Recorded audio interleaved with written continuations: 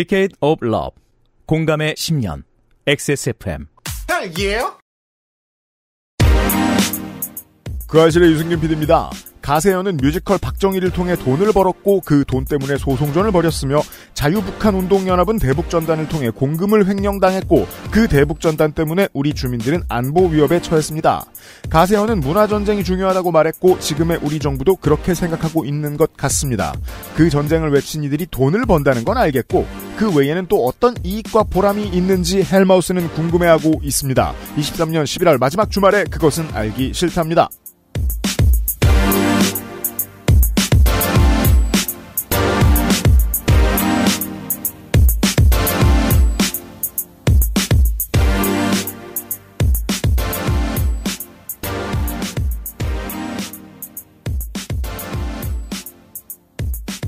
안녕하세요, 청취자 여러분. 주말에 그것은 알기 싫다 529회 와주셔서 감사합니다. 이번 주, 다음 주, 다다음 주 주말은 헬마우스 코너 시간입니다. 윤세민 에디터와 제가 헬마우스 얘기를 들었고요. 안녕하세요 윤세민입니다. 헬마우스가 3주 연속 토요일에 나오는 거죠? 그렇습니다. 다시 한번 농축산이랑 얘기할 때 요파시에서 웃으면서 얘기했습니다만 그동안 좋은 방송 만드느라 많이 수고하셨던 KBS의 미디어 노동자 여러분 믿음을 가지고 뭉치시면 기회는 다시 돌아옵니다. 미디어 시장이라는 게 미디어 노동자들이 연대하지 않으면 결국 그냥 다 척박해질 따름입니다. 이건 우리가 방송 작가들의 노동운동을 통해서 저희 방송에서 많이 이야기 드렸던 문제입니다. 지금은 KBS의 비정규직 포함 정규직 여러분들이 그 고민을 하실 때가 되었습니다. 응원하고 있습니다. 직장 일부가 날아간 헬마우스는 제가 잘 챙기도록 하겠습니다. 이번 주부터요.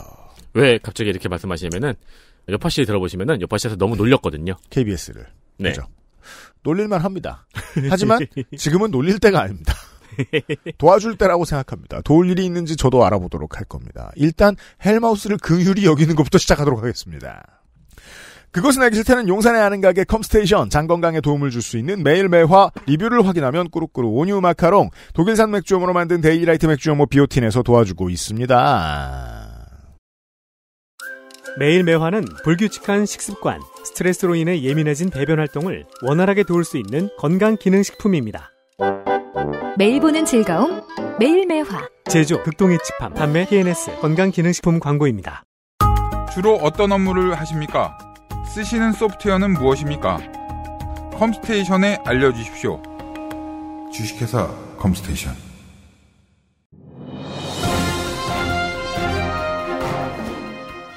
자, 전화 연결해 보겠습니다. 여보세요? 데일리라이트 맥주 효모 드셔보셨다고요? 네, 비슷한 다른 회사 제품도 먹어봤는데요. 분말이라 역하고 먹기가 많이 불편했거든요. 근데 데일리라이트 맥주 효모는 알약이라 먹기도 편하고요. 냄새가 없어 그런지 애들도 잘 먹더라고요. 이거 먹고 나서 우리 남편은 글쎄 이마선을 따라서 참... 야야야, 끊어, 끊어! 야, 끊어! 아, 통화 연결이 고르지 못하네요. 들을 말씀은 아직 많이 남아 있는데 아쉽습니다. 말할 수 없는 고민 직접 확인해 보세요. 데일리라이트 맥주 효모. 맥주 효모는 불프 세일을 하지 않아도 된다고요. 하지만 가끔씩 이렇게 쟁여놓을 이제 할인 같은 거를 제시를 해주죠. 늘상 반응이 제일 좋은 4 플러스 1 증정 이벤트. 4개 사시면 하나를 드리는 이벤트. 불프 기간에 시작이 됩니다. 탈모 예방에 좋은 성분 아누카 사과 추출 분말을 추가한 프리미엄 맥주 효모 비오틴과 10가지 아미노산 거기다가 콜라겐, 아연, 엘라스틴, 비타민을 첨가한 진정한 프리미엄 제품이 있고요. 이벤트를 기다려온 매니아들은 지금이 가서 또 쟁여놓으실 때입니다. 길게 설명하지 않겠습니다. 그동안 사셨던 분들 빨리 준비하시는 게 좋겠습니다. 불프 할인은 명절 할인보다는 좀 짧게 가는 편입니다. 살까 말까 고민하신 분들 오늘 아침에 머리 감고 한번 손을 보셨나요? 왜요? 엉겨붙어 있잖아요. 아, 그렇구나. 네. 탈모가 진행될 때는 볼 때마다 기분이 나빠요. 그리고 보통 고민 많을 때나 일 많이 했을 때 그런 일 생기고 그러잖아요. 네네. 네. 준비하십시오. 뭘 준비해야 되는지는 말 안 했습니다.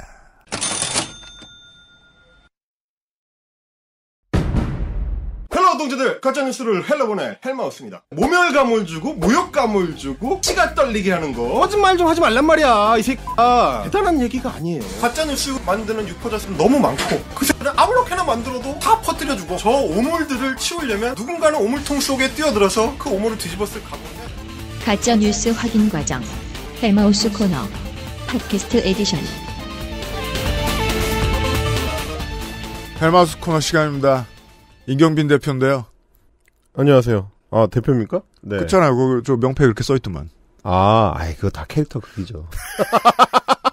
근데, 저, 자비까지 좀 들어가긴 하잖아요. 어, 그, 아, 어, 들어갔죠. 강성범 씨가 다 도와줬을 리는 없어. 어, 들어갔고, 네. 어, 그것까지는 회수했어요. 아, 다행히. 회수했어요? 들어간 건 회수했어요. 아, 이제 흑자야? 아, 이제, 이제 장비 다 갚았고, 이제. 예. 흑자 전환했습니다. 아, 드디어 기쁜 마음으로 종소세를. 어, 1년 만에. 어, 예. 종소세? 종소세까지는 안 나올 것 같아.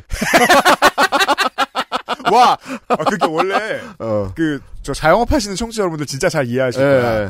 면세에서 종소세 상가로 넘어가기 직전까지가 네, 제일 네. 달달해요. 아, 그렇죠. 야, 네. 드디어 돈. 근데 네. 아무도 안 가져가. 아, 그렇지. 예, 그 상황이구나. 약간 그 상황입니다. 아, 예. 그래서 이제 뭐 거기서 이제 대표 캐릭터 극 하는 거는 하는 거고 MBC에 가면 이제 MBC에 맞춰서 이제 임경빈 작가가 되잖아요, 제가. 그렇죠. 드디어 이제 그알싫에 오면 본자 본캐. 아, 헬마우스로 방송을 할 수가 있습니다. 아, 그치만, 그 사장 남천동 보고 있으면, 음. 아, 저 열심히, 열심히 보고 있거든요. 네, 네. 보고 있으면, 확실히, 임경빈이 지난 몇 년 동안 자기가 방송에 나가서, 음. 어, 이 사람 저 사람 하는 거 보고 열심히 배운 걸로, 음. 많은 스킬을 익혔는데, 그 중에는 처음에 만났을 때 이제 그, 어. 어, 방송 작가 유니온의 노조 전임자로서는 찾아볼 수 없던 기술 중에 생긴 게, 어, 예. 어, 니주를 잘 깔아요. 아, 니주 까는 거. 아, 니주 까리가 되었어요. 아, 그래서 저는, 아, 이제 앞에 니주 안 깔 거예요. 아. 헬마우스 코너 할 때. 아, 니주 깔 필요 없죠. 예. 그 대박 잘 깝니다. 어, 니주로 너무 너무 장사해 먹었어요. 아, 네.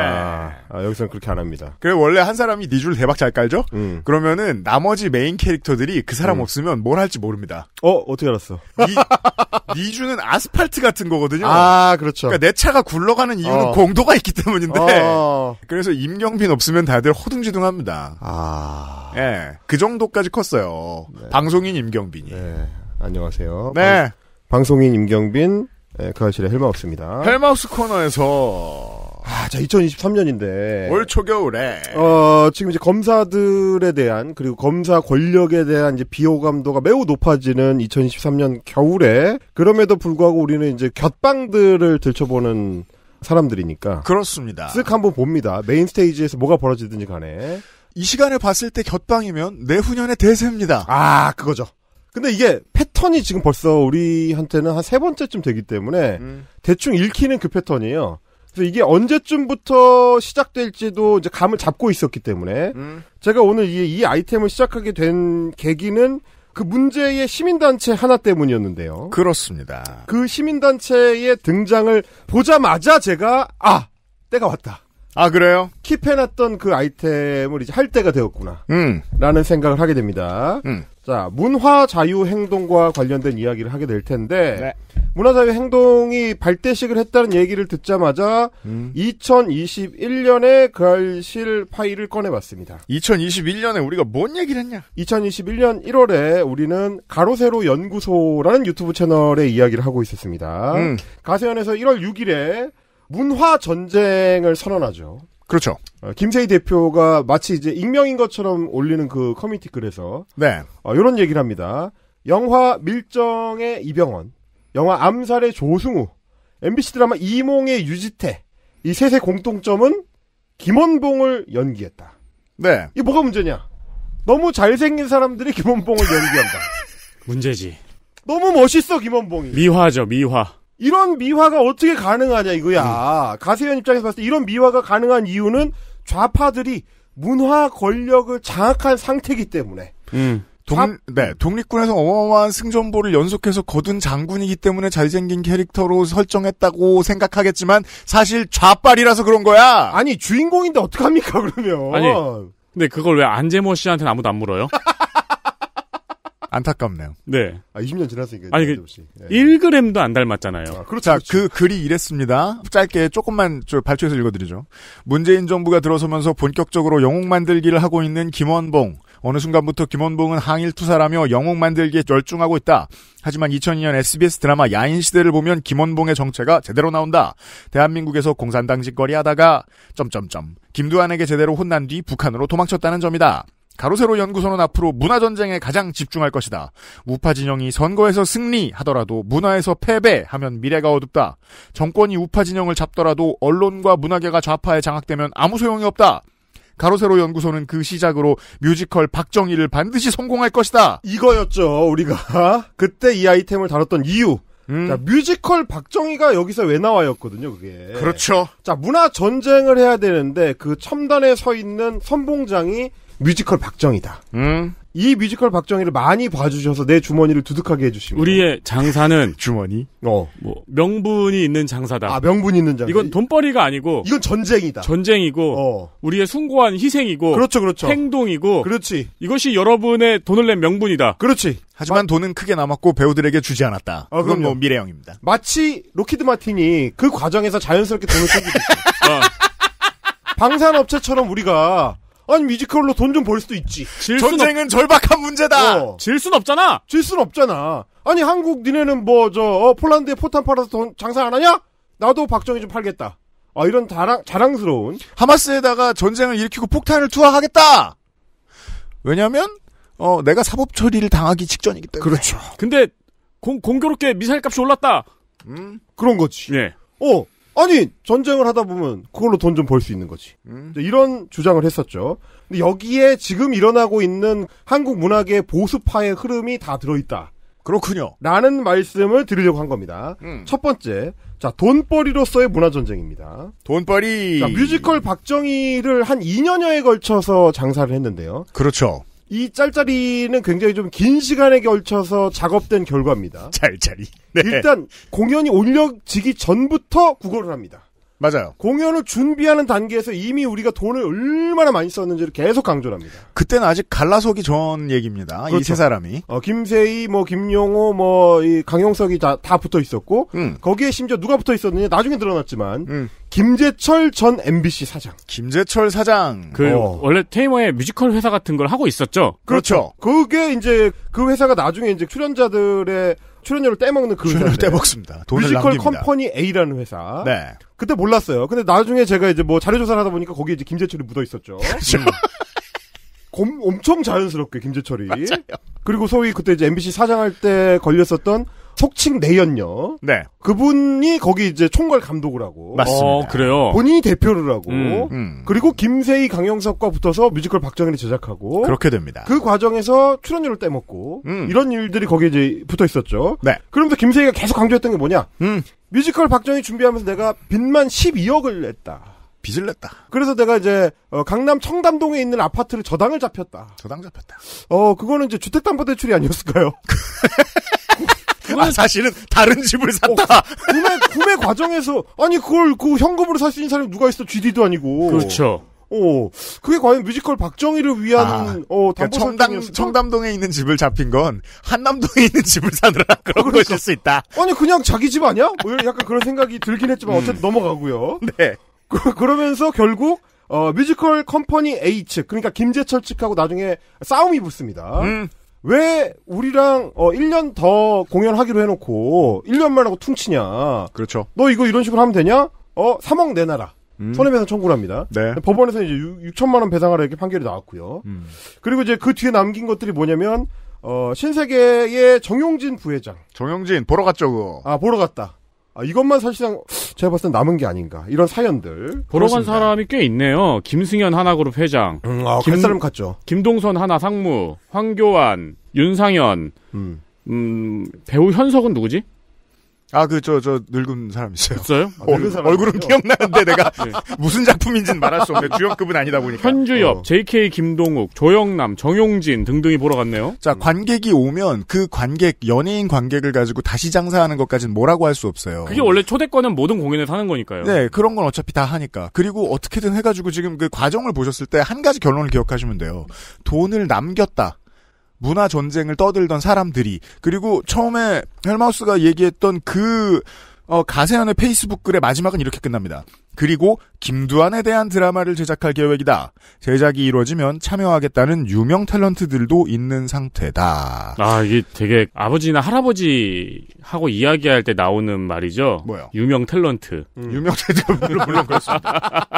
아버지들 글쓰기 시키면 이 꺽쇠를 꼭 붙여요. 선거에서 승리 꺽쇠 이런 어. 이런 네 어쨌든 그 문화 전쟁에서 그래서 얼마를 남겼는지는 우리가 알 수 없습니다. 어, 그런 건알수 없죠. 어, 네. 다만 이게 꽤 장사가 된다는 점에 대해서는 명확한 어떤 지향점을 보여줬죠. 여러모로 아무리 봐도 흑자는 된 것 같아요. 그 뒤로도 비슷한 기획들이 굉장히 많이 나왔고요. 음. 어, 특히 뮤지컬 분야에서 뭐 여러 건들이 나왔습니다. 음. 그리고 이제 제가 그 나중에 이제 다른 유튜버를 통해서 들은 것 중에 하나도 음. 어, 우리 이제 헬마우스 작가님도 쓸데없는 거 하지 말고 음. 유명세를 좀 얻어서 음. 좀 자리를 잡게 되면 음. 영화를 영화를 제작해. 이야. 그게 제일 짭짤하다. 아, 실제로요? 이걸 TV라고 얘기해 주는 분이 있었습니다. 그러니까 이게 뭐냐면 우리가 아는 대작 영화 정말 시장에서 승부 보려고 내는 영화 그게 아닌 거죠. 말고 음. 그거 말고 제작 제일 좋은 게 뭐냐면 그래서 그분이 얘기했던 것 중에 영화를 제작하는 게 제일 많이 남길 수 있는 건데 그 중에 제일 좋은 게 뭐냐 다큐다. 다큐면, 그러니까, 아, 우리가 살면서 지나봤던 몇몇 다큐가 스쳐 지나가네요. 그렇죠. 만들고 호소하는 다큐. 호소하는 다큐. 그러면 이제 두 번 돈을 벌 수 있다라고 이제 얘기를 해주더라고요. 일단 제작을 시작하는 단계에서 제작비 후원을 받는다. 와디즈. 그렇죠. 네. 실제로 그 업체와 관계는 없지만, 크라우드 크라우드, 랑 관련 있는 네. 건 아니지만 뭐. 크라우드 펀딩이 맞는 어, 말이지만. 뭐 플랫폼 잘못은 없어요. 네, 그죠. 그런 식으로 일단 1차적으로 제작비를 만들어서 어차피 다큐는 제작비 자체가 출연료가 안 들어가니까 거의 그 제작비가 얼마 안 들기 때문에 네. 거기서 일단 남기고 그 다음에 상연을 하게 되면 이 경우에는 이미 제작비 회수를 했기 때문에 걸어서 한 명이라도 더 들어올수록 무조건 남는다. 음. 그러니까 뭐 본인 딴에는 굉장히 저한테 이제 호의로 이야기를 해 주신 거지만 아, 이 사람들이 무슨 생각으로 소위 문화 전쟁이라는 걸 벌이고 있는지. 그 업자들이 좌우에 다 있는데 아, 다 머릿속에 있죠. 몇몇 다큐가 이렇게 막 지나가네요. 아, 그럼요. 음. 이게 사실은 인건비나 제작비를 부풀려서 이 문제를 만들기 가장 좋은 업계 중에 하나가 문화 업계라고 파악한 사람들이 있는 겁니다. 음, 음. 이 분야에 있어서는 네. 왜냐하면 이제 인건비 상정이나 이런 것들이 굉장히 계약에 따라서 불투명하게 진행될 수도 있는 사안이라서 여러 빼먹을 수 있는 구멍들이 많다. 그리고 천민 자본주의에서는 인건비를 잘 부풀려서 계획서를 만드는 사람들은 인건비를 잘 떼먹는 사람들입니다. 네. 그렇습니다. 심지어 그 사람들이 지금 노리고 있는 소위 이 후원금이라는 것들도 후원한 사람들이 그렇게까지 꼼꼼한 회계 처리를 또 요구하지 않기 때문에 그렇죠. 여러 가지 측면에 염두에 둔 돈벌이로서의 문화 전쟁의 성격이 가르세로 연구소의 그 게시물에는 들어가 있는 거고요. 그렇습니다. 그리고 그런 사람들은 거의 이제 열매가 무르익어 갈 때쯤 되면 서로에게 소송을 합니다. 예. 이 새끼 이거 떼먹었어. 혹은 이 새끼 이거 떼먹은 것 같아. 음. 그렇습니다. 등등의 이유로. 왜냐하면 나한테 들어온 게 내가 예상한 것보다 너무 적어. 근데 쟤는 차를 바꿨어. 그렇죠. 이런 식으로 굴러가죠. 그러니까 그러다가 나중에 결국 가세연이 정말 우리들의 인생에 큰 교훈을 주는 게 김용호 기자가 죽고 나서 김세희가 사망한 직후에 유튜브에서 독서를 퍼부어요. 네. 그 사람 진짜 인간적으로 뭐, 뭐, 염려할 필요 전혀 없고, 뭐, 뭐, 그, 어, 슬퍼할 이유가 전혀 없는 사람이라고 막 뭐라 그래요. 나 예. 같이 커리어에 픽을 쳤던 친구였는데. 그렇죠. 예. 야 아니, 그런 식으로 손절을 하는 건 내가 완전히 동일한 사람이라고 인정하는 것이기도 하거니와. 음. 예. 그 심지어 그게 손절도 아닌 것이 죽절이잖아요. 사절. 죽절 뭐 사절 뭐 그런 것도 있지만 익절입니다. 심지어. 아, 익절이죠. 예. 네, 손절이 아니고 익절인 게 어, 이거를 방송 준비를 하면서 어저께도 제가 이제 가세현 들어가 봤는데 음. 지난주에도 김용호 관련된 방송을 하고 있더라고요. 그게 지금 억하가 남았든지 당사가 되든지 둘 중 하나죠. 왜냐면 조회수가 나옵니다. 그렇죠. 그 둘 중 하나일 거죠. 저- 어. 그니까, 정말, 이게 정말 리터럴리, 우리 일반인은 바닥을 알 수가 없는 게, 아, 그럼요. 예. 우리가 생각하는 건 전혀 다른 세계에 있어요. 야, 똑같은 나쁜 짓 하고 같이 잘 지내다가 똑같은 나쁜 짓 하다 죽은 사람에 대고 저 사람 나쁜 짓 하다 죽었다고 또 팔아요. 음. 심지어 나한테 더 나빴다. 그리고 사실 식으로. 그들에게는 나쁜 짓이 아니고 같은 정의를 공유하는 명분이었잖아요. 그렇죠. 음. 그러니까 이런 부분들이 결국 이제 그 비즈니스로서의 아, 문화 전쟁 측면을 좀 보여주는 거고요. 음. 그리고 또 하나 이게 이제 효용성이 있는 게 뭐냐면 그거는 이제 기획하는 사람들한테는 돈이 된다. 이지만 그러고, 어, 그 문화 전쟁에 동원되는 사람들. 그렇죠. 어, 소위 이제 그 병사로 참전하는 사람들. 음. 이런 사람들한테는 뭐냐? 한풀입니다. 한풀이. 참전하는 사람은 참전하는 사람의 이유가 있습니다. 이유가 있습니다. 한풀이로서의 문화전쟁이. 물론 이제 그 사람들도 비즈니스적인 측면을 상당히 강하게 띄고 이 판에 들어오지만 동시에 그 사람들이 어떤 욕망을 가지고 들어오느냐. 한풀이가 굉장히 중요해요. 중요합니다. 우리가 가로세로 연구소를 다룰 때 다뤘던 사람들 중에서 이제 이제는 어, 한 시대를 풍미하고 지나가 버린 김민종 가수 김민종 배우 김민종 자, 이제 이런 이야기. 김민종이 본격적으로 시작하기 전에. 음. 가세연에 나왔다가 망한 것 같지만 딱히 사람들이 망하지 않았습니다. 유명 인사들은. 그 음. 정치인들 제외하고 몇몇 짚어드리죠. 제일 크게 내상을 입은 사람은 김상현 씨라고 어. 국대 떡볶이 대표님. 아, 맞아요. 네. 왜냐하면 4, 50대인 점주들이 이걸 너무 못마땅해 했어서 자기들이 국대 떡볶이 간판을 스스로 내려버린 점주들이 꽤 많았습니다. 실제로 우리 자주 가는데도 마포역에도 네, 바뀌었어요. 바뀌었죠. 그때 이후로 바뀌었어요. 음. 근데 그 사람 빼고는 나쁠 게 없던 게 연예인 뭐죠? 안정훈 씨. 안정원. 옛날 아이돌 스타죠. 네, 그렇죠. 저 국민학교 때 같은 반이 안정훈 씨 조카가 있었어요. 음. 정말 인기가 얼마나 있는지 그 조카들도 팬들 구경을 할 일이 아, 많았었어요. 공영진 씨가 있고요. 공영진 씨. 중견 배우. 음. 그리고 코미디언 김영민 씨. 이거 이름만 하면 모르실 텐데 코빅 많이 보시던 분은 그 얼굴 보면 아십니다. 이 사람은 현재 국힘 부산시당 컨텐츠 산업위원장입니다. 4시 10분이라는 이제 유튜브 채널을 운영하고 그렇죠. 그리고 최국 씨라는 음. 코미디언 유명한 분이 있었어요. 지금 유튜브로 굉장히 좀 잘 나가고 있습니다. 그 이때 이제 이 최국 씨가 여기 나온 거 보고서 음. 최국 씨랑 헷갈려가지고 아, 그거 이제 사장 남천동에서 한 번 한 적 있죠. 그래요? KBS 사장이 바뀌면 최욱의 드라이브가 최국의 드라이브가 정확하게 그대로 가고 있습니다. 아, 이것도 문화전쟁의 이제 그 소선이죠. 그 초등학생들 답 고 칠 때 펜으로 이렇게 동그라미 치는 것처럼. 아, 그렇죠. 정확하게 그대로 흘러가고 있는 문화전쟁의 양상인데 지금 이제 짚어주신 분들 네. 마찬가지고 어, 아까 이제 뮤지컬 박정희 보러 갔던 사람들도 다 이 멤버와 겹칩니다. 맞아요. 제가 제일 인상적이었던 그 중에 제일 인상적이었던 게 김민종 씨였습니다. 왜냐하면 제 나이 또래들은 김민종 씨와 관련된 추억이 있기 때문입니다. 음. 저 고2 때 어, 느 가을날에 63빌딩 별관에서 어. 이 사람이 이제 기자들을 모아놓고 중요 발표를 합니다. 가수 활동 중단 기자회견을 합니다. 어. 어, 인터뷰에서 겁나 자신감 있는 말투로 음악 활동을 안 한다 이런 말을 했었습니다. 음. 왜냐하면 그때의 최고 히트곡 천년도에. 귀천도에 아, 귀천도에. 예. 가 표절 시비가 났기 네. 때문입니다. 빠르게 손절을 하는 거죠. 음, 음. 어, 그리고 2년 뒤에 컴백합니다. 어, 그랬어요? 컴백을 했었나? 모든 미디어에 다 음악 활동 안 한다! 자신있게 말했었어요. 음. 그 노래가 컴백한 노래가 뭐였더라? 사랑 어쩌고 뭐 있었는데 기억이 네. 안 나고, 그래서 그 2년 뒤에 제가 대학 들어갔을 때였는데 이 사람이 컴백하는 거 보고 너무 웃겼던 기억이 나요. 왜냐하면 라디오에서 들었던 그 자신감 있는 목소리가 너무 떠올랐거든요. 어. 이건 마치 이준석 씨의 6개월 전 이야기를 들으면 지금 하는 얘기랑 너무 달라가지고 웃긴 거랑 되게 비슷해요. 그렇죠. 어, 저 저는- 말투만 들어도 나중에 말을 쉽게 바꾸겠는데 싶은 음. 자신 있는 말투가 있어요. 노원에 뼈를 묻고 돌파하겠습니다. 아, 6개월 전에 그 얘기하고 있었죠. 그럼 지금 살밖에 없어요, 아, 이준석은. 그럼요. 예. 그렇지만 이제 이번 주말 뭐 발표된 여론조사 결과를 보니까 김성환 의원한테 이제 더블 스코어로 지고 있는 걸로 나와. 저도 그거 봤어요. 저 깜짝 아, 놀랐어요. 최고입니다. 그러니까 다 결국 그렇게 되는 거예요. 김민종이 복귀를 해도 2년 뒤에 복귀했던 저는 복귀했다는 사실도 몰랐습니다. 네. 이런 것처럼 김민종이 가세연에 출연했을 때는 화장품 사업하는 거 홍보하러 나왔었거든요. 그랬어요. 그랬었어요. 네, 네. 그 화장품 사업 어떻게 되는지 아무도 모릅니다. 그쵸.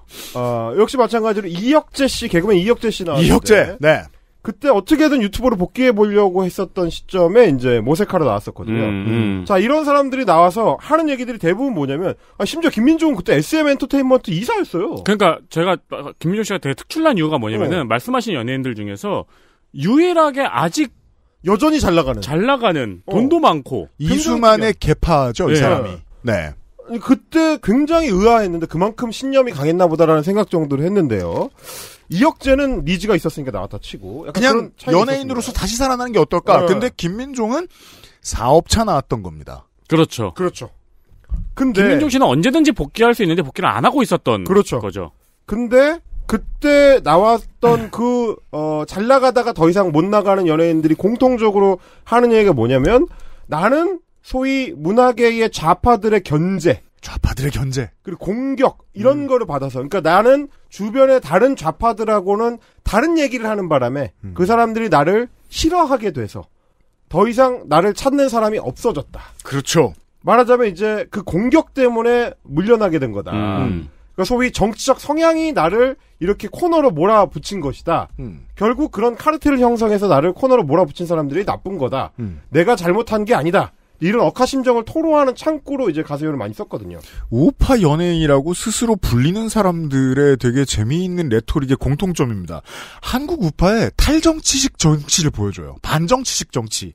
저 새끼들이 정치적으로 굴었기 때문에 우리가 이렇게 갈라져 있는 거고 저 새끼들이 정치적으로 굴었기 때문에 내 자리가 없어진 거다. 그렇죠. 에서 사실을 뒤틀어요. 사실 50이 넘었고 이제 더 이상 뭐 히트작에 굳이 넣어줄 이유도 없고 그렇죠. 뭐 너무 거만해 등등 다양한 이유로 안 불릴 땐 안 불리는 다양한 이유가 있거든요. 음, 그렇죠. 그걸 정치적 탄압이라고 말하면 자기 인생이 너무 편안해져요. 그러니까 우리는 미국에서 민주당 지지자들이 클린트 이스트우드를 얼마나 좋아하는지를 생각해 봐야죠. 그렇죠. 아. 예.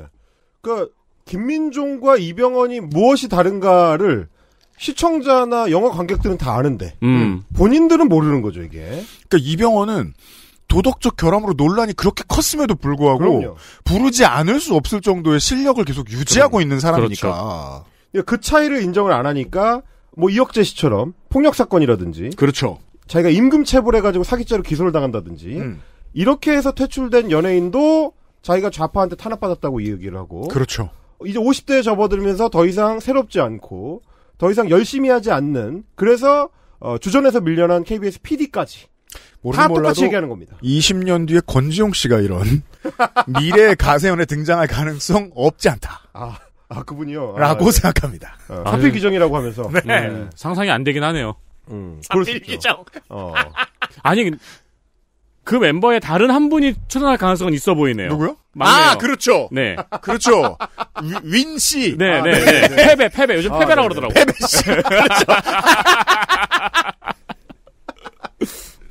어쨌든 우리가 이제 이걸 돌아보는 게 이런 맥락인 겁니다. 김민종과 이혁재가 가세연에 출연을 했었다. 그렇죠. 그거는 이제 헬마우스 코너에서 이러이러한 어떤 그 유튜브적인 맥락이 있다는 걸 짚어드린 데서 끝났어야 되는데 네. 끝났어야 되는데. 끝났어야 되는데 2022년에 정권 교체가 윤석열로 됩니다. 음? 그 뒤에 그러면 그들 음. 이게 이제 우리가 오늘 얘기하고자 하는 문화 전쟁하고 연결되는 거예요. XSFM입니다. 딸기예요?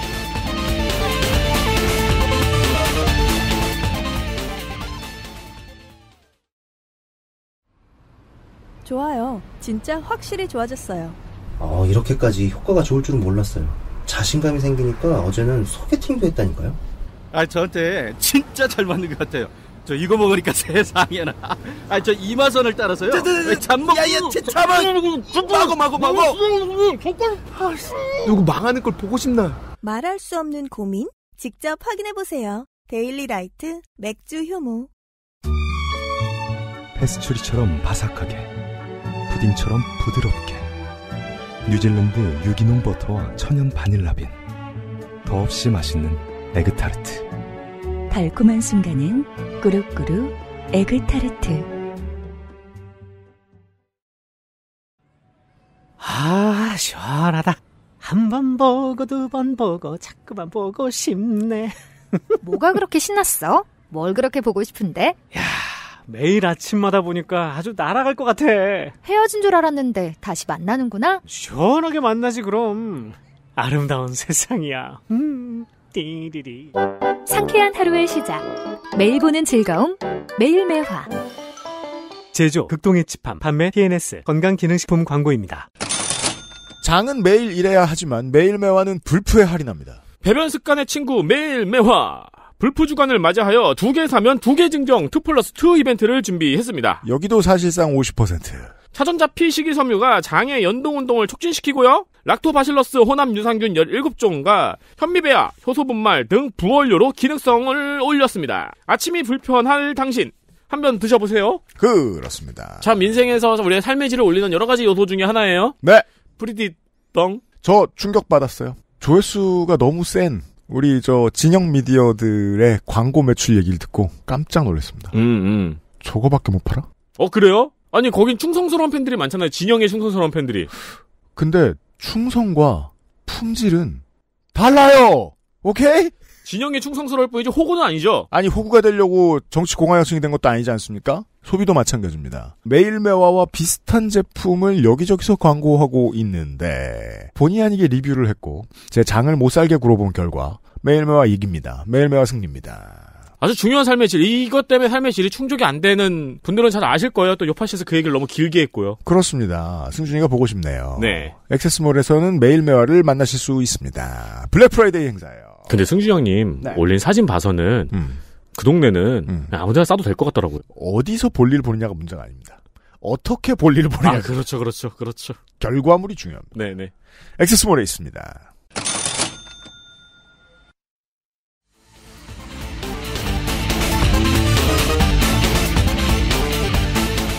딸기예요?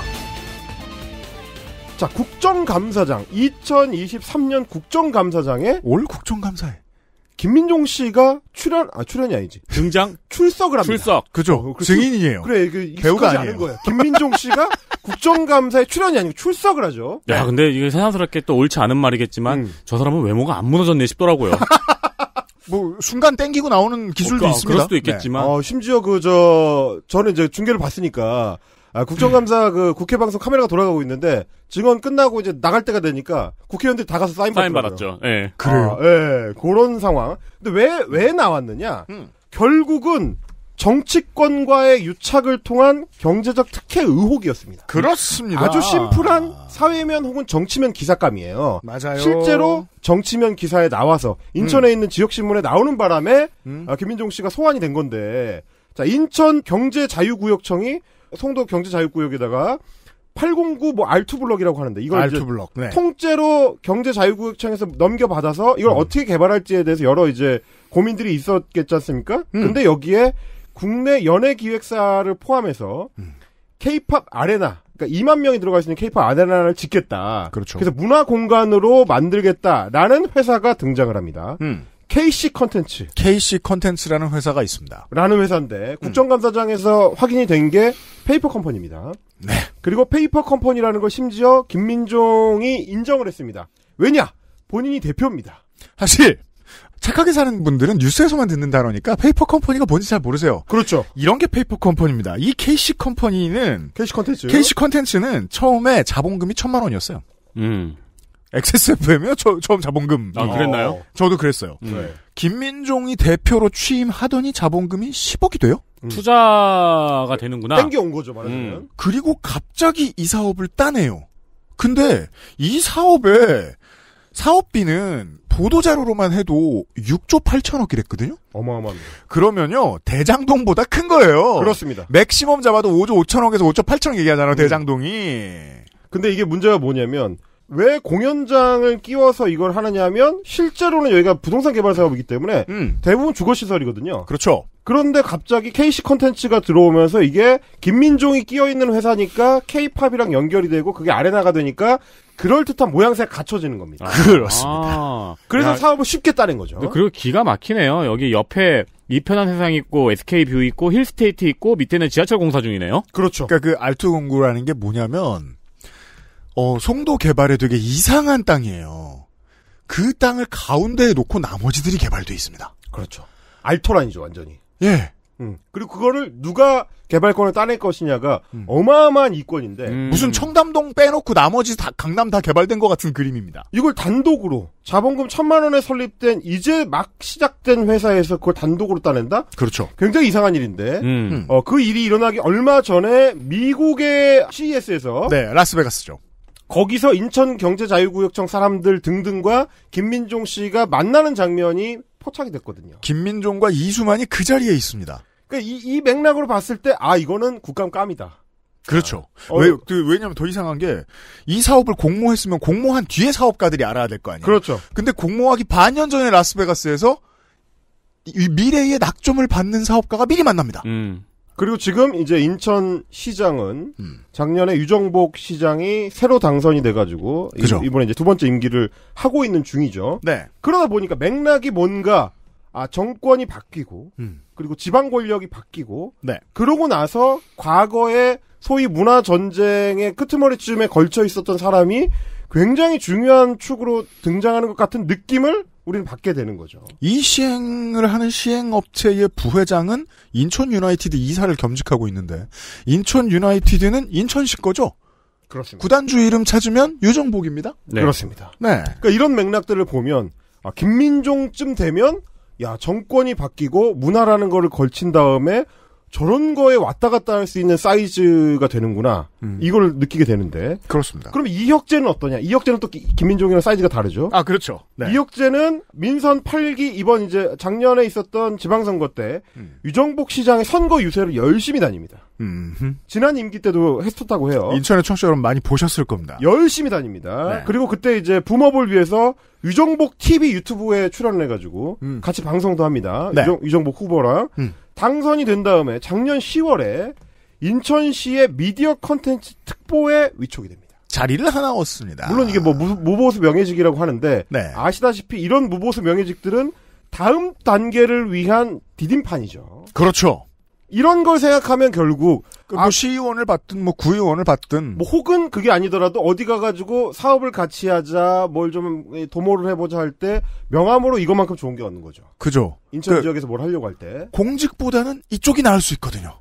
자 이런 게 결국 한 풀이의 끝에 찾아오는 우연히 찾아온 그 사람들 입장에서는 우연히 찾아온 어떤 과실일 수도 있겠지만 이게 다 연결이 돼 있다는 게 중요한 겁니다. 문화 전쟁이라고 시작을 했는데 중간 과정에서 공연 기획 같은 거 하나에서 돈을 땡길 수도 있고 아니면 정권이 바뀌는 과정에서 잘 올라타면 자리를 받거나 혹은 중요한 이권 사업에 참여할 수 있는 계기가 될 수도 있고 한 풀이에 그치지 않고 그 다음 단계까지도 나아갈 수 있는 기회가 된다. 이런 느낌인 거죠. 자, 이건 선악을 한 절반 정도만 떠나봅시다. 누군가가 나 억압당하고 있습니다. 라는 말은 이제 짧게 하면 해석이 되시죠. 이게 수학 수업 똑같은 문제 오래 푸는 거랑 똑같습니다. 그냥 A를 보면 B를 생각하는 연습을 하는 거예요, 우리가. 나는 억압을 당하고 있다. 나 자리 주세요. 나 사업 주세요. 인 사람이 90%는 된다. 정도를 알아주시면 좋겠습니다. 김민종의 이야기 나가기 전에. 네. 이게 왜 그럼 아니 문화예술인들이 이 사업을 할 수도 있잖아라고 생각할 수도 있을 거예요. 지금까지만 들으시면 컨텐츠 시티라고 이름을 지었는데 컨텐츠 시티면 그 부지 전부가 컨텐츠와 관련된 데라고 생각할 수밖에 없잖아요. 네. 근데 공연장이 10만 명도 아니고 2만 명이래요. 음. 2만 명이면 기껏해야 제가 제일 자주 가는 데로는 고척 스카이돔만 한 거거든요. 그렇죠. 그거 뭐 얼마나 크다고요? 옆에 있는 동양미래대가 훨씬 큽니다. 음. 그렇죠. 부지는 부지 대부분이 실제로 주거용 건물입니다. 음. 주거용으로 허락받은 오피스텔들입니다. 사업 대상지 중에 85%가 공동주택입니다. 이걸 컨텐츠 시티라고 부를 수 있느냐는 거예요. 케이팝 공연장은 전체 부지의 5%라는 겁니다. 야당이 캤더니. 그러면 결국 이 시행사로 내세운 이 회사가 워낙에 신진 회사고 아무 경력이 없는 회사니까 얘네가 이 거대 사업을 맡을 수 있는 명분을 만들기 위해서 소위 컨텐츠 사업이라는 걸 걸쳐 놓은 거 아니냐. 그리고 거기에 이제 동원되는 이름으로 김민종 정도 되는 이름이 쓸모가 있다라는 판단을 했을 가능성이 있는 거죠. 맥락상으로 보면. 이러고서 나중에 이게 결국은 파헤쳐서 도시를 만들긴 해야 될 거예요. 어차피 도시 부지니까. 이런 다음에 어, 대장동처럼 국고로 혹은 공고로 환수나 하나 봅시다. 한 푼이나 하나 봅시다. 이게 지금 마이너 미디어들이 지금의 정부와 여당 관계자들 선거지면 감옥 간다란 말 자꾸 하는 게 그냥 악다구니에 받쳐가지고 저주하는 게 아닙니다. 비슷한 얘기 해볼까요? 처음에 이제 좀 많이 드러나서 기자들은 다 알고 있죠. 대통령실 처음 들어와서 공사하려고 할 때 누군가 권력이 겁나 센 사람이 선출직이 아닌 어떤 겁나 권력 센 사람이 그 왜 동네에 내가 아는 이것저것 잘 고치는 사람 있다고 그 사람이 심지어 방탄유리도 취급을 하죠. 맥가이버 아저씨. 아, 깜짝 놀랐습니다. 핸디맨 우리 동네 핸디맨인데 방탄유리도 할 줄 안다고 방탄유리를 취급을 해요. 아, 그래서 처음 보는 회사인데요? 라고 기자들이 물어봤다. 라는 거 이제 기자들은 다 알고 있는 문제잖아요. 이거 범죄 아닐까요? 음. 자, 이거, 이 사업, 범죄의 성격이 없을까요? 그 이, 런 사업은 소위 이제 그 야구의 배터리처럼 투수하고 포수가 둘 다 중요하거든요. 음. 네, 좀 전에 말씀하신 대통령실 이전 관련된 사업에는 이제 단우림 건설이라는 조그만 건축 회사도 아니고 뭐 리모델링 회사라고 해야 되나? 핸디맨 회사. 네, 작은 회사가 하나 있는데 네. 아, 소위 이제 투수라고 하면 대통령실에 포수가 있었습니다. 음. 그렇죠. 그 지금 이제 민주당의 김영호 의원실에서 파고 있는 건 중에 하나인데 네. 얼마 전에 날라간 이제 의전 비서관과 관련해서 음. 이 사람이 포수가 아니냐. 라는 제보들이 지금 쏟아져 들어오고 있다고 하거든요. 네. 마찬가지입니다.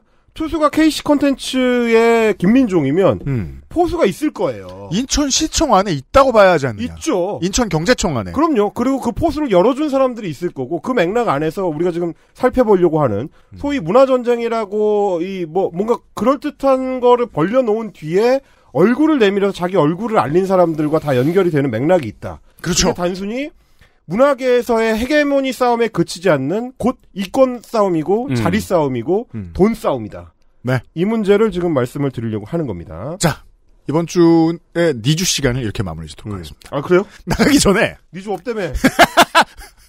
30분 동안 네. 엘마우스가 니주 깔았어요.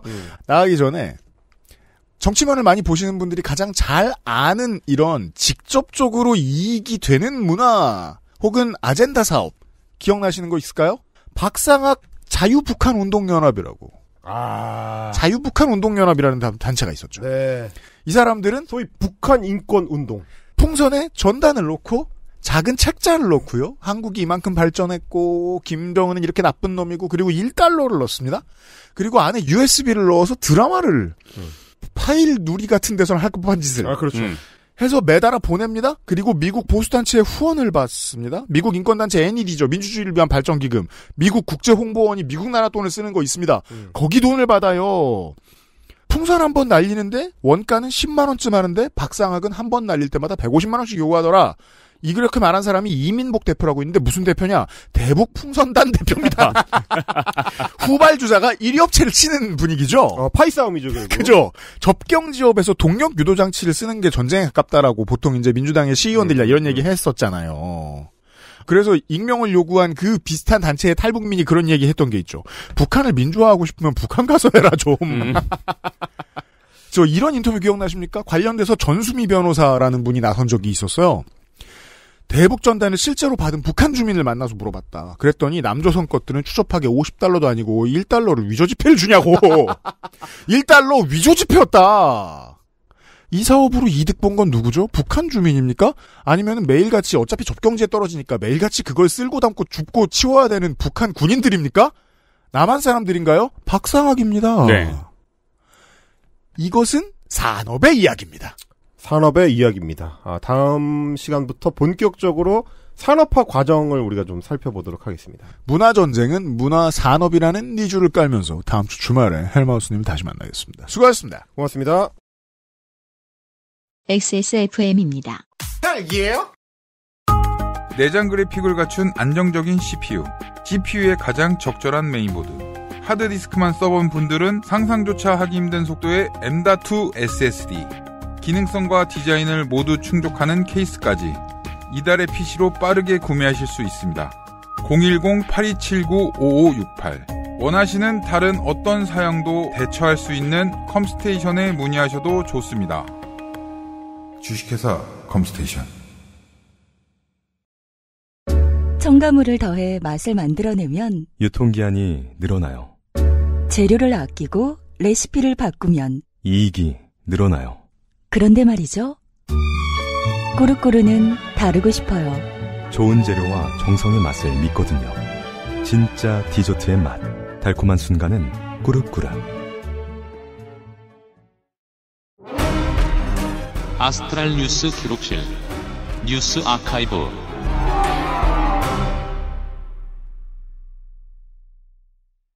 원래 저 국감 끝난 주간에는 제가 에디터를 괴롭히지 않는데 헬마우스 코너가 이렇게 걸리잖아요. 토요일에. 음. 그러면은 보통 첫 시간은 니주 깔고 말잖아요. 아, 그쵸, 그쵸, 그쵸. 네, 그래서 뉴스 아카이브를 해 달라고 할 수밖에 없었습니다. 자, 11월 셋째 주에 뉴스 아카이브를 보시죠. 우리 모두가 잊고 있었던 단어가 있어요. 어쩜 이렇게 다들 새카맣게 잊었죠? 무엇일까요? Doorstepping. Doorstepping. 이번 주는 윤석열 대통령의 doorstepping 중단 1주년. 야 그래서 에디터가 오타를 냈어요. Doors I tapping. 어, 그러네. 그 윤석열 대통령이 tap out을 했죠. 그러네요. 내가 졌다. 네. 기자들은 나를 그만 불러 세우도록. 우리는 어느새 대통령이 왜 용산으로 갔는지를 까먹었어요. 그렇죠. 국민과의 소통을 위해서라고 했잖아요. 음. 작년 여름까지만 해도 대통령실에서 직접 도어 스태핑이 윤석열 정부의 철학이라서 음. 멈출 수 없다고까지 했어요. 네. 어느새 우리 기억 속에서 아예 잊혀졌습니다. 사라졌습니다. 국민과 소통하는 대통령도 잊혀졌고요. 없어졌습니다. 그렇다고 이제 지난 정권처럼 국민과에 대한 한번 만들어 보려고 했는데 이게 너무 어색하니까 아무도 보지도 않았고 보수 언론도 보도도 안 했습니다. 맞아요. 너무 재미없으니까. 그건 마치 이번에 그 노란봉투법 표결 반대 필리버스터를 저는 의원들이 실력이 없어라고 생각합니다만 여당 의원들이 참여율이 저조하고 참여 안 하고 싶어 하니까 필리버스터를 생략하고 온라인에서 하겠습니다. 그래가지고 유튜브에서 생방을 했죠. 그러면은 표결은 하고요. 표결과 상관없잖아요. 그럼 그건 필리버스터가 아니에요. 그냥 유튜브 생- 라이브 스트리밍이지. 그 라방이잖아요. 그건 이 세계 아이돌이 하라 잘하는 사람이 하라 그래요. 그리고 그거 30명씩 40명씩 봤죠? 학고. 안본 거예요. 학고라고 하죠. 그죠? 인경빈이 저한테 가르쳐준 네. 용어예요. 학고. 야, 학고 버스터가 네. 됐습니다. 소통, 얼어 죽을. 아니 표결을 막는 게 목적 아닌가요? 아무튼 도어 스태핑이 사라진 지 1주년 됐습니다, 이번 주에. 도어스티핑은 사실 중간에도 몇 차례 중단된 적이 있었어요. 음. 코로나 때문에도 중단된 적이 있고 대통령에게 불리한 이슈가 나오면은 한 2, 3일 중단되기도 했어요. 그렇습니다. 지금 언론인들이 도어 스태핑을 다시 할 수는 없는지 질문하지 않는 이유가 여기 있습니다. 지금의 분위기면 어차피 또 중단되고 중단되다가 사라질 것이다. 그렇죠. 우리 기억 속에 강렬하게 남은 체리따봉. 체리따봉. 체리따봉 사건. 새 서울 모양. 그렇죠. 그 대통령과 권성동 원내대표가 이준석 대표 뒷담을 까던 내용이었죠. 음. 그때도 한 2, 3일 중단했고요. 태풍이 왔을 때는 특이하게 네. 태풍 힌남노 외의 질문은 전부 제한하겠다. 음. 해가지고 이렇게 질문을 그 제한을 걸었어요. 네. Positive list로. 음.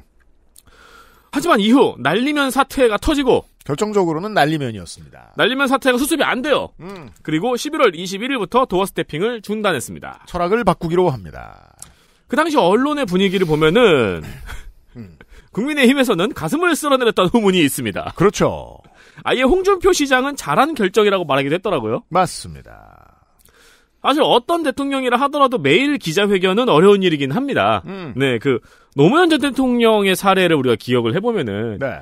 기자회견 할 때마다 온 언론이 물어뜯었잖아요. 가장 대표적인 사례가 그거죠. 힘들어서 못 해 먹겠다는 생각이 들 때도 있다.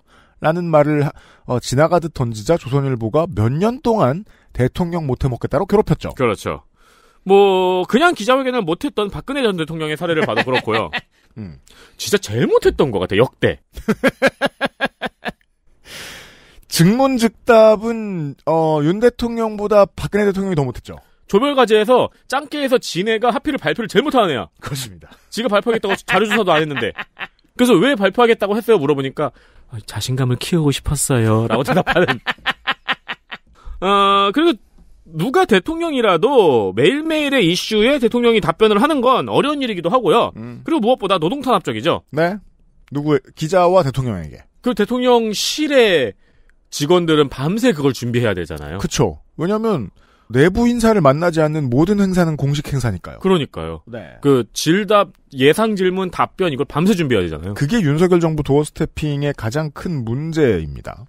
하지만 그렇다고 해도 그 이후로 우리가 대통령을 아예 보기가 힘들어진 건 좀 이상합니다. 에디터가 주제를 다 설명을 드리는 겁니다. 옛날 얘기 복습 한 번만 해보죠. 도어 스태핑은 원래 이런 게 아니다라는 지적이 애저녁에 나왔습니다. 도어 스태핑이 무슨 조깅이나 음. 강아지 산책인 줄 알았어요. 윤석열 정부는. 음. 매일같이 시간표 동그라미 파이 시간표에 Doorstepping 써놓고 지키는 건 줄 알았다고요. 그 포도 아래 스티커 받는 거. 예, 근데 그, 그건 원래 말의 의미랑 다르잖아요. 어딘가로 올라가거나 이동하고 있을 때 기자가 불러세워서 물어봐서 거기에서 말을 따내는 게 doorstepping입니다. 음.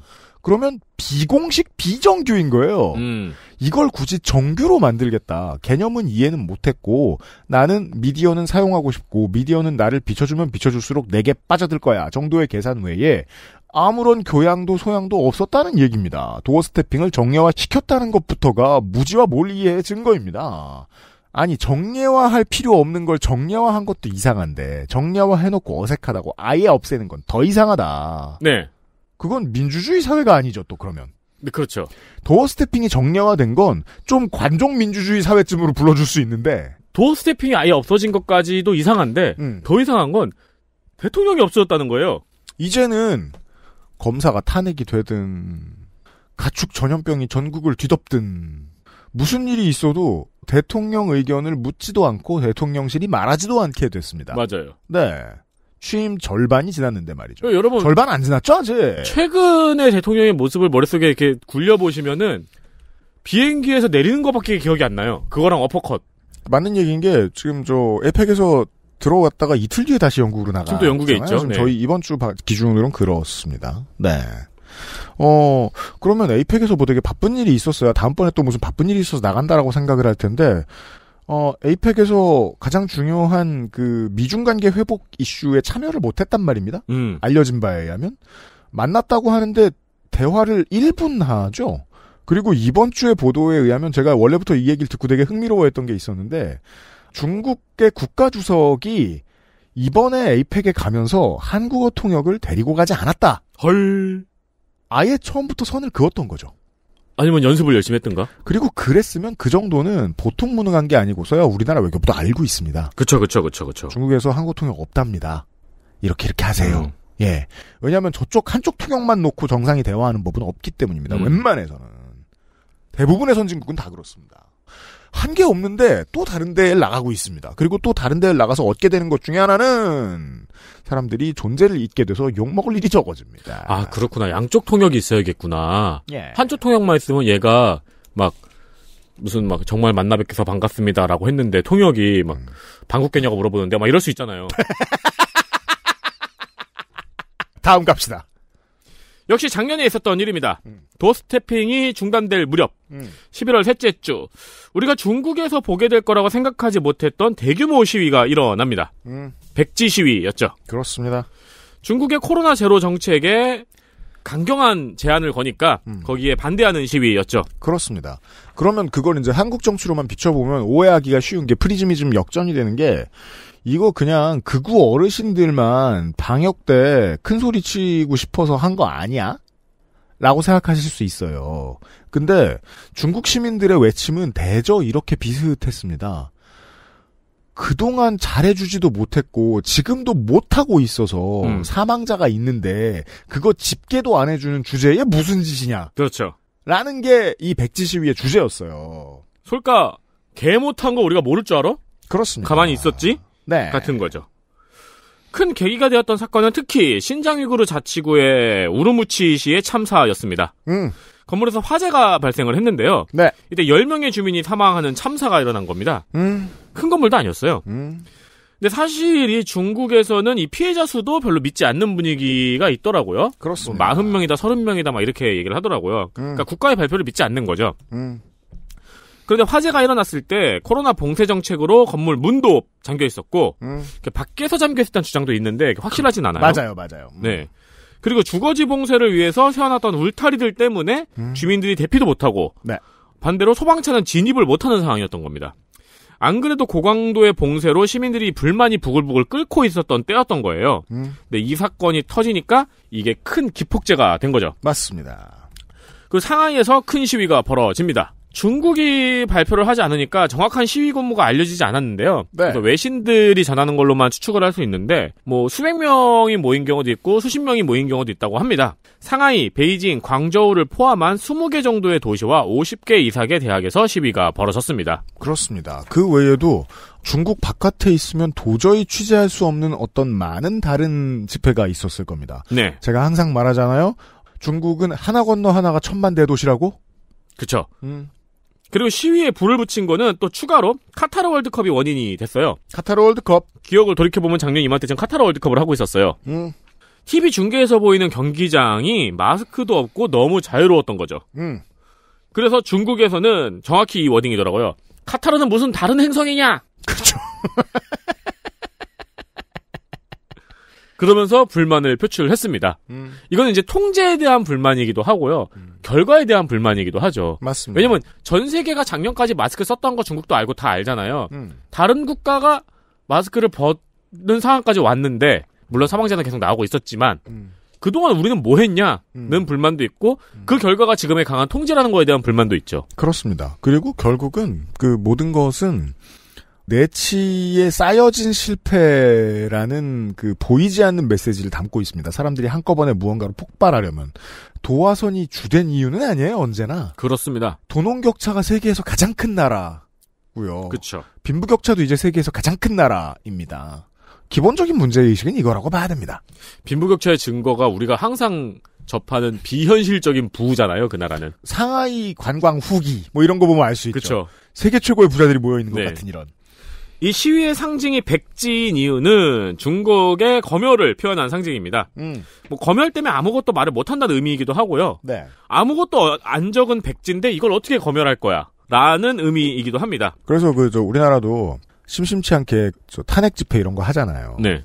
그럴 때 그 그냥 아무 내용 없이 바이든 사진 들고 있는 사람들 간혹 볼 수 있습니다. 어, 그 맥락을 모르고 보면 태극기 어르신인가 싶습니다. 태극기 어르신이면 트럼프를 들죠. 그래도 바이두에서는 백지혁명은 또 검열됐더라고요.